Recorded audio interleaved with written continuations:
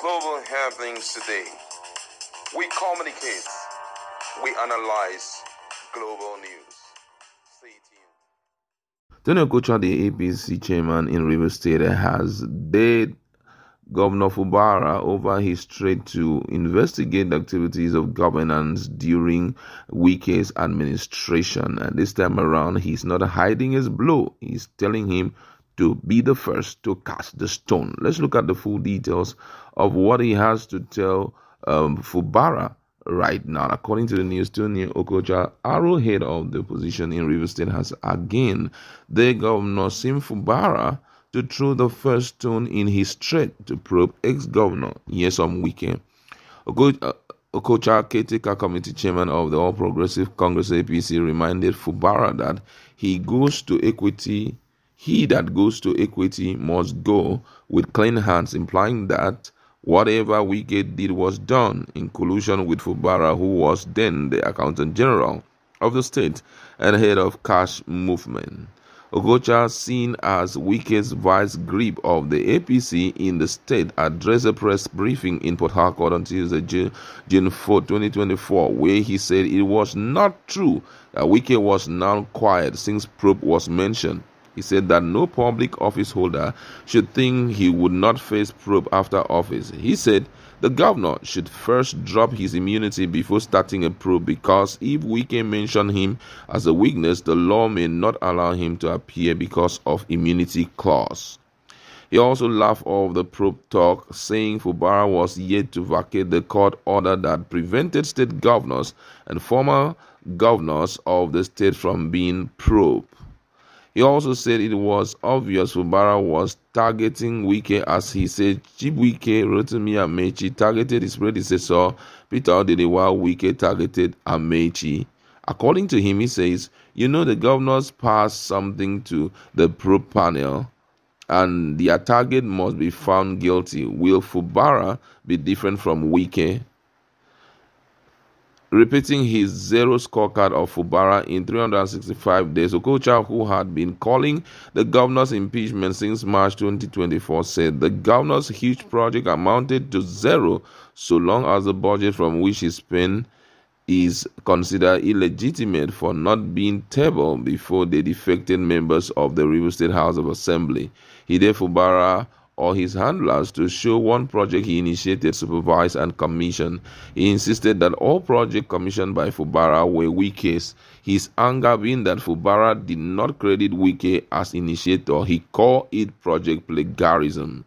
According to him, he says if any media man or government official can show the world any single project Fubara started and finished in his first year, I would apologize to him and congratulate him for his one year in office. When Elele won Ebubu Eleme Road of about four six point four billion naira was mentioned. Okocha claimed it was conceived by Wike and that after commissioning by Fubara, the rain came and washed it away.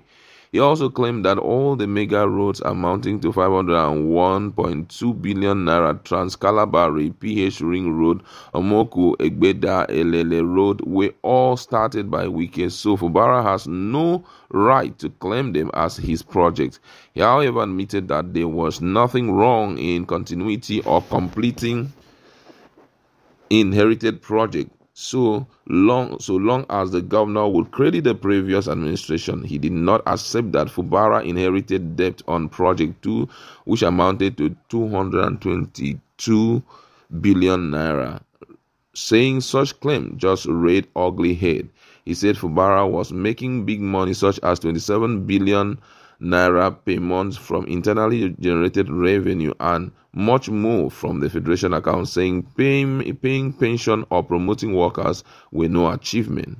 Okocha, who could not claim that the defected lawmakers were his APC member now as he used as he had claimed openly said only membership card and names in a party's register would prove the party the one belong the one they belong, thus leading, lending cre- credence that the APC has permitted the defected lawmakers back to the People Democratic Party. He said it was a lie from the pit of hell to say he has fallen out with Wike and has congratulated Fubara. How can I, as a Okocha, as a person or as leader of APC, ever congratulate such a governor? He said he has issued a statement denying such fake news. Wow, this is getting really interesting. A lot of funny things in that statement if you had followed me up. And, uh, you know, it points to one direction that Fubara has still a lot to face in the nearest future. You know, oftentimes it's been talking about that the battle is over, the war is over. But I think from some of the hints that uh, Tony Okocha has dropped clearly shows that Wike is just retreating to fight really good again. If you listen carefully, he talked about the issue of the 27 lawmakers that uh, are no more members of APC, which means that already there's a ground on ground on ground to disassociate themselves with uh, PDP with those defected guys, defected lawmakers, so that they can get back their position as you know uh, lawmakers under PDP. And if that happens, it therefore means that Fubara will be out of the seat. You know, this is going to be a very serious issue and must be given ardent attention. If not, this may result to Fubara being kicked out of office. Don't forget that those guys are 25 in numbers, and which means they can stand their ground and kick out the governor as at when they feel like doing it. So I, I think that's where the whole the next line of fight is going to come from. Did these guys properly they come from PDP? Are they still in PDP? Are they not in PDP? That's uh, the whole thing where it will revolve. And I, I, I think that uh, the governor, sorry, the uh, national chairman and also the state chairman has a lot of role to play there. Don't forget that Wike has so much control over the current national chairman of uh, PDP, and if he pushes hard to ensure that uh, they, they, they, they, pretend as if they did not know those guys defected and accept them back, it means that the future is very bleak for the person of Fubara.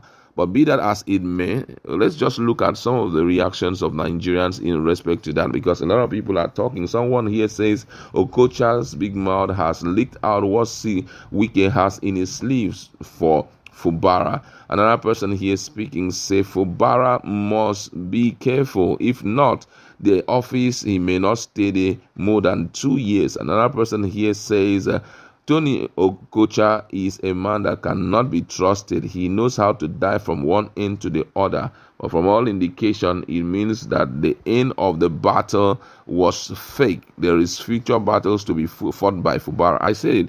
Fubara must not look at Wike's silence as quietness. There could possibly be, be some underlying movement. A lot of underground movement is going on. Though uh, Fubara has been able to get the support of virtually all and sundry in Rivers State, especially political stakeholders. Most of them are working with him. But that should not give him the confidence that he has come to stay stay forever. Because if the 27 lawmakers come back, I'm telling you, the future is not so certain, or his position it cannot be predicted because they can make a particular dangerous move that will end everything about him.